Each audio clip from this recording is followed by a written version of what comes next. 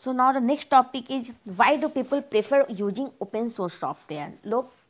Open source software और कैसे O S S को क्यों प्रेफर करते हैं? यूज़ करने में सबसे ज़्यादा क्यों प्रेफर करते हैं? First one is control many people prefer open source software because they have more control over the that kind of software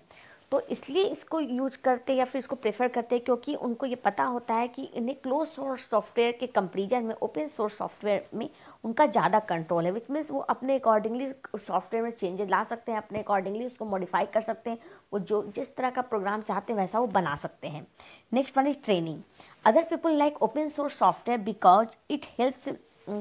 helps them become better programmers because open source software code source code is publicly accessible student can easily study it as they learn to make better software तो training आप ऐसे भी समझ सकते हो कि open source software से जो न्यू कमर होते हैं या फिर बिगिनर्स जो होते हैं, उन्हें बहुत एक एक ट्रेनिंग मिलती है उनको। लोग इसलिए उसे पसंद करते हैं क्योंकि वो इस ओपन सोर्स सॉफ्टवेयर के थ्रू एक अच्छे प्रोग्रामर बन सकते हैं क्योंकि ये ओपन सोर्स सॉफ्टवेयर का जो सोर्स कोड होता है, वो पब्लिकली एक्सेसिबल होता है। मतलब वो कोई भी यूज़र उसके सोर्स कोड को आसानी से पढ़ सकता है, देख सकता है, समझ सकता है। तो स्टूडेंट जो जो होते हैं, जो बिगिनर्स होते हैं, जो पढ़ रहे होते हैं प्रोग्रामिंग जो कोडिंग सीख रहे होते हैं, वो आसानी से सोर्स कोड को पढ़ते हैं और उस, वो कैसे प्रोग्रामिंग उस सॉफ्टवेयर की प्रोग्रामिंग कैसे हुई है क्या क्या कोडिंग कहाँ पे की गई है, वो आसानी से उसको समझते हैं और फिर उसको बेटर सॉफ्टवेयर बनाने के लिए उसको यू यूज़ भी करते हैं। So this is what training now the next is security some people prefer open source software because they consider it more secure and stable than proprietary software और कैसे close source software in even can view and modify open source software source can one might spot and corner error or omissions that a programmer's original authors might have missed. तो open source software को हम security के अगर नज़र से देखते हैं तो ये क्लोज सोर्स सॉफ्टवेयर के कंपेरिजन में ज़्यादा सिक्योर होता है बहुत लोग इसे ज़्यादा सिक्योर समझते हैं, क्योंकि इसका, इसको कोई भी इसके सोर्स कोड को आसानी से एक्सेस कर पाता है और उसमें जो मॉडिफाई होते हैं लाइक कुछ प्रॉब्लम कुछ मिस्टेक्स होती हैं, कुछ इरर्स होते हैं, जो कि आसानी से कोई भी अगर कोई प्रोग्रामर है जो कि उस, उसको किसी भी ओपन सोर्स सॉफ्टवेयर के सोर्स कोड को देख रहा है और उसमें कुछ मिस्टेक्स रह गए हैं, कुछ इरर्स रह गए हैं, जो कि जो एक्चुअल जो मेन प्रोग्रामर होता है, जो क्रिएटर होता है उस सॉफ्टवेयर का और एक ऐसे जो ओरिजिनल ऑथर्स होता है होता है वो सॉफ्टवेयर का, उससे छूट जाती है, छूट गई होती है। तो उस सोर्स को कोड को वो जो अच्छे प्रोग्रामर होते हैं, जो देख रहे होते हैं, वो उसको मिस्टेक को सही कर सकते हैं, उसको डिबक कर सकते हैं, आसानी से उसमें चेंज ला सकते हैं, ताकि आपका वो सोर्स सॉफ्टवेयर जो है, वो ज़्यादा बेटर हो सके। And the next one is stability many users prefer open source software to in comparison to close source software for important long term project तो बहुत लोग इसको ओपन सोर्स सॉफ्टवेयर को स्टेबिलिटी मतलब लॉन्ग टर्म प्रोजेक्ट के लिए भी अच्छा समझते हैं in comparison to close source software so now the next topic is free and open source software और you can say FOSS the type of software that is both free and open source software is called FOSS तो वैसा software जिसमें कि free software और open source software दोनों की facility provide की जा रही है, वो आप, वो हम फॉस कहते हैं और can say free and open source software कहते हैं। The terms of license for this type of software allow it to freely use copied studied and modified and the source code is openly share so that people are encourage to improve and debug the software तो यहाँ पे जो आपका ये free and open source software में क्या होता है कि आपका जो सॉफ्टवेयर होता है फॉस का जो सॉफ्टवेयर होता है, इससे आप आसानी से फ्रीली यूज़ कर सकते हो मतलब आसानी से एक्सेस कर सकते हो। इसे आप कॉपी कर सकते हो कॉपी करके आप किसी, कहीं भी डिस्ट्रीब्यूट भी कर सकते हो स्टडी कर सकते हो मॉडिफाई भी कर सकते हो। ये सारा कुछ आप इसमें कर सकते हो, जो फ्री सॉफ्टवेयर का सारी फैसिलिटी और कैसे आप इस, जो फ्री सॉफ्टवेयर की फैसिलिटी जो प्रोवाइड की जाती है, वो है। और इसके जो सोर्स कोड जो होते हैं, जो free and open source software के जो सोर्स कोड होते हैं, वो भी पब्लिकली एक्सेसिबल होते हैं। मतलब just like open source software में जैसे आप उसका जो सोर्स कोड होता था पब्लिक उसको आसानी से एक्सेस कर पाती थी, वैसे सेम आपका free and open source software में भी ये सोर्स कोड जो होते हैं पब्लिकली एक्सेसिबल होता है, जो कि यूज़र्स उसको देखते हैं और उसमें अगर कुछ मिस्टेक्स होते हैं, कुछ चेंजेस लाने होते हैं तो आसानी से मॉडिफाई कर सकते हैं। So this is about free and open source software now the next topic is freedom of information So, the freedom of information includes the right to seek, receive, and impart information and ideas through any media. तो तो आप freedom of information को ऐसे समझ सकते हो कि like आपके पास एक ऐसी राइट हो राइट होती है जो किसी भी तरह की इंफॉर्मेशन को आइडियाज़ को आप रिसीव कर सकते हो आप या फिर आप ऐसे स्प्रेड कर सकते हो थ्रू एनी मीडिया किसी मीडिया के हेल्प से आप कर सकते हो तो ये फ्रीडम ऑफ़ इंफॉर्मेशन है The internet has played a critical role in serving this freedom of information as it defies all limitation of distance, language and socio-economic status pertaining to expression and access to information. The internet uh, is playing a vital role आपका जो freedom of information जो आपका है, जो आप किसी भी तरह के इंफॉर्मेशन को आसानी से रिसीव कर पाते हो स्प्रेड कर पाते हो तो या आइडियाज़ को आप ऐसा कर सकते हो थ्रू एनी मीडिया किसी भी मीडिया के थ्रू अगर आप कर पाते हो तो ये आपका जस्ट बिकॉज़ ऑफ़ इंटरनेट आप इंटरनेट की वजह से ऐसा कर पाते हो। इंटरनेट क्या कर रहा होता है कि आपका जो इन्फॉर्मेशन ये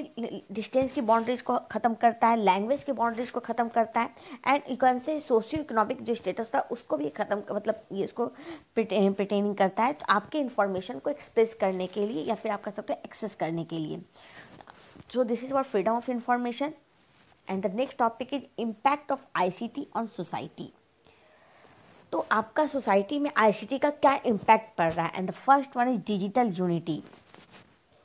because of ICT the world is coming closure by el, eliminating the differences. It ensured that everyone in society gets equal share of technology.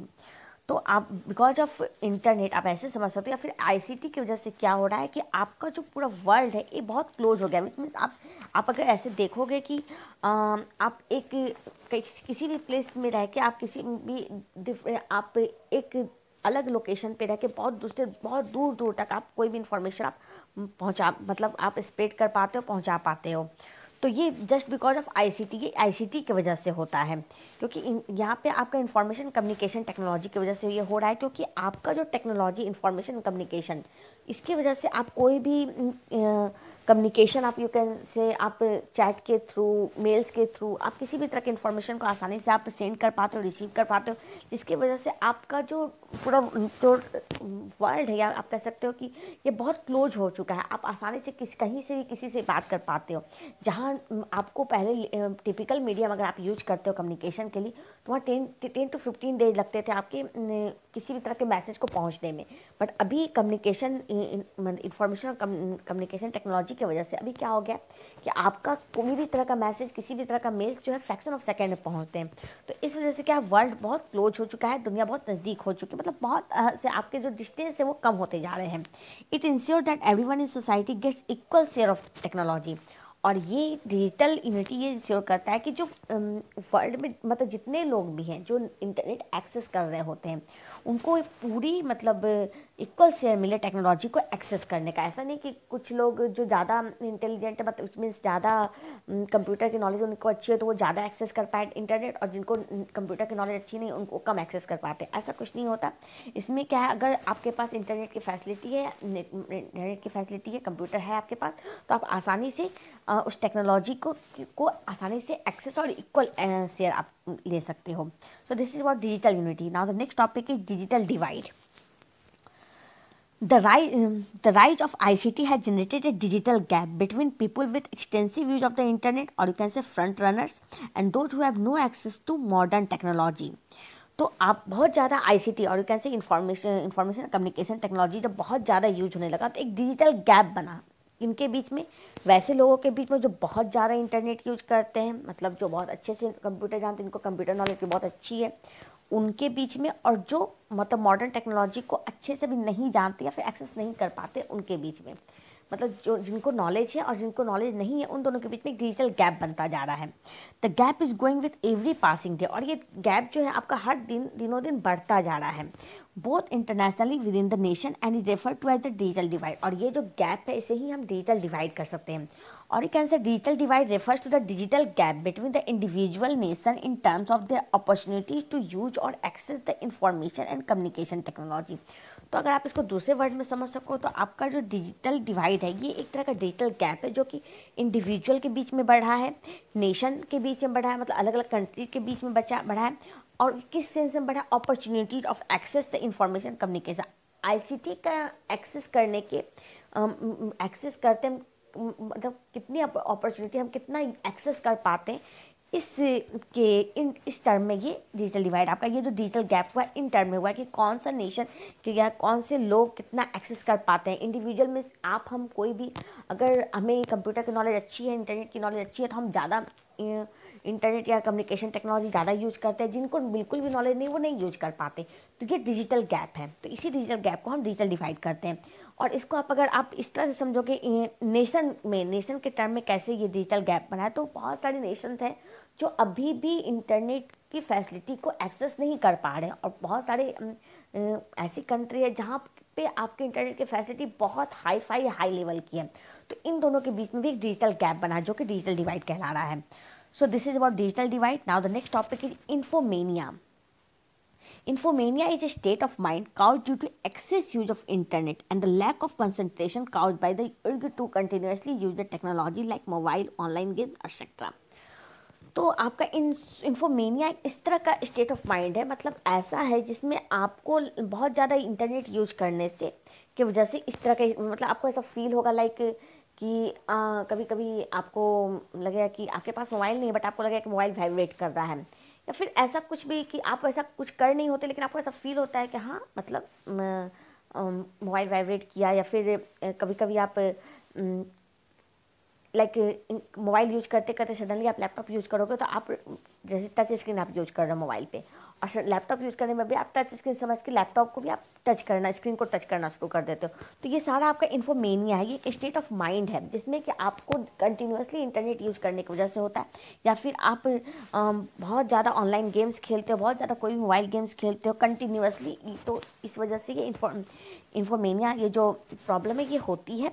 ये आपका कंसंट्रेशन जो था लैक ऑफ़ कंसंट्रेशन आपका कंसंट्रेशन भी बिल्कुल इसमें ख़त्म सा हो सा जाता है। So this is about Infomania. And that's all for today. I hope you have understood all those topics which I have discussed today. Thank you.